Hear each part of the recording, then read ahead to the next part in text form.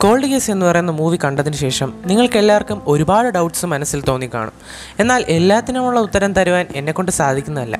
പക്ഷേ എന്റെ മനസ്സിൽ പെട്ടെന്ന് സ്ട്രൈക്കിംഗ് ആയിട്ടൊരു കാര്യം അതിൽ തോന്നി. എന്താണെന്ന് വെച്ചാൽ മേധ എന്ന് പറയുന്ന ആ വ്യക്തി തന്റെ കമ്പ്യൂട്ടർ സ്ക്രീനിൽ സെർച്ച് ചെയ്യുന്ന ഒരു കാര്യമുണ്ട്. സ്ക്രൈയിങ് എന്താണ് സ്ക്രൈയിങ് എനിക്ക് ആദ്യമേ തോന്നിയ ഒരു ഡൗട്ടാണ് ഇനി ഇത് പ്രാക്ടിക്കലി പോസിബിൾ ആണോ? പക്ഷേ എന്തായാലും സ്ക്രൈയിങ് എന്ന് പറയുന്ന ടോപ്പിക്ക് ഒരു വാസ്റ്റ് ടോപ്പിക്കാണ് അതിനെക്കുറിച്ച് നമുക്ക് രണ്ട് മൂന്ന് വാക്കുകൾ ഒതുക്കാൻ സാധിക്കുന്നതല്ല. ഇന്നത്തെ വീഡിയോയിൽ നമ്മൾ ഡിസ്കസ് ചെയ്യാൻ പോകുന്നത് സ്ക്രൈയിങ്ങിനെ കുറിച്ചുള്ള ഇൻട്രസ്റ്റിംഗ് ആയിട്ടുള്ള ഫാക്സ് ആണ്. അതിൽ ഏറ്റവും കൂടുതലായിട്ട് നമ്മൾ ഇൻക്ലൂഡ് ചെയ്യുന്നത് മൂന്ന് ഫാക്സ് ആണ്. എന്താണ് ആ ഫാക്സ് അതിനെക്കുറിച്ചുള്ള ഡിസ്ക്രിപ്ഷനുമാണ് നമ്മൾ ഈ വീഡിയോയിൽ ചെയ്യാൻ പോകുന്നത്. വീഡിയോയിലേക്ക് പോകുന്നതിന് മുമ്പ് ഒരു കാര്യം നിങ്ങൾ യൂട്യൂബ് ചാനൽ ആദ്യമായിട്ടാണ് കാണുന്നതെങ്കിൽ താഴെ കാണുന്ന റെഡ് ഐക്കൺ സബ്സ്ക്രൈബ് ഐക്കൺ ഒന്ന് ക്ലിക്ക് ചെയ്യുക. അടുത്താണ് ബെൽ ഐക്കൺ കൂടെ ഒന്ന് എനേബിൾ ചെയ്തിട്ടേക്കുക അപ്പോൾ നമുക്ക് നേരെ വീഡിയോയിലേക്ക് പോകാം ക്രിസ്റ്റൽ ഗേസിംഗ് എന്ന് പറയുന്ന ഒരു പ്രോസസ്സിനെയാണ് നമ്മൾ സ്ക്രൈയിങ് എന്ന് പറഞ്ഞ പേരിൽ വിളിക്കപ്പെടുന്നത്. എന്താണ് ഈ സ്ക്രൈയിങ് എന്ന് പറയുകയാണെങ്കിൽ ഒരു റോക്കിന്റെ ക്രിസ്റ്റൽ ഉപയോഗിച്ച് മറ്റു ആത്മാക്കളുമായിട്ടോ നമ്മുടെ ഫ്യൂച്ചറിനെ കുറിച്ചോ ഇനി നമ്മുടെ ജീവിതത്തിൽ നടന്നുപോയ എന്തെങ്കിലും മിസ്റ്ററീസിനെ കുറിച്ചോ ചുരുളഴിക്കുവാൻ വേണ്ടിയാണ് ഈ ഒരു ടെക്നിക്ക് ഉപയോഗിക്കുന്നതെന്ന് പറയുന്നുണ്ട്. അതിൽ ആദ്യമായിട്ട് നമ്മൾ ഡിസ്കസ് ചെയ്യാൻ പോകുന്നത് ഫോർച്യൂൺ ടെല്ലിങ്ങിനെ കുറിച്ചാണ്. എന്താണ് ഫോർച്യൂൺ ടെല്ലിംഗ് ഫോർച്യൂൺ ടെല്ലിംഗ് ആ രണ്ട് വാക്കുകൾ നിങ്ങൾ ഡിവൈഡ് ചെയ്യുമ്പോൾ തന്നെ നിങ്ങൾക്ക് അതിനുള്ള അർത്ഥം കിട്ടുന്നതാണ്.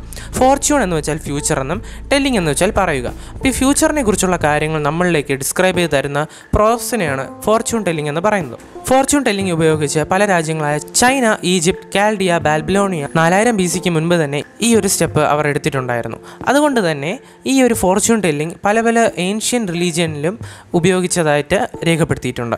നമുക്കിനി അടുത്ത ഫാക്റ്റിലേക്ക് പോവാം. രണ്ടാമത്തെ ഫാക്റ്റാണ് നെക്രോമാൻസി എന്ന് പറയുന്നത്. നെക്രോമാൻസി എന്ന് വെച്ചാൽ മരണമടഞ്ഞു പോയവരുമായിട്ടുള്ള ഒരു കമ്മ്യൂണിക്കേഷനെയാണ് രേഖപ്പെടുത്തുന്നത്.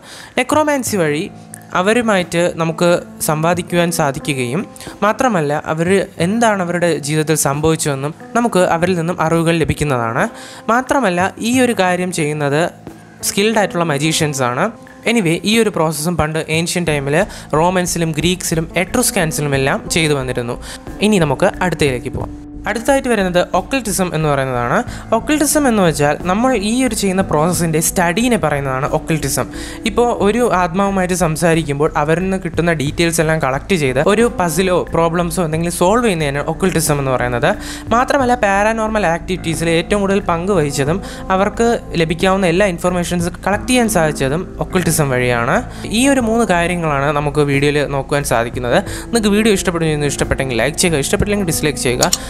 ചാനൽ സബ്സ്ക്രൈബ് എന്ന കാര്യം ഒന്ന് പരിഗണനയെങ്കിലും എടുക്കുക. അടുത്തൊരു വീഡിയോ ആയിട്ട് കാണാവുന്ന പ്രതീക്ഷയോടെ it's me Alvin signing out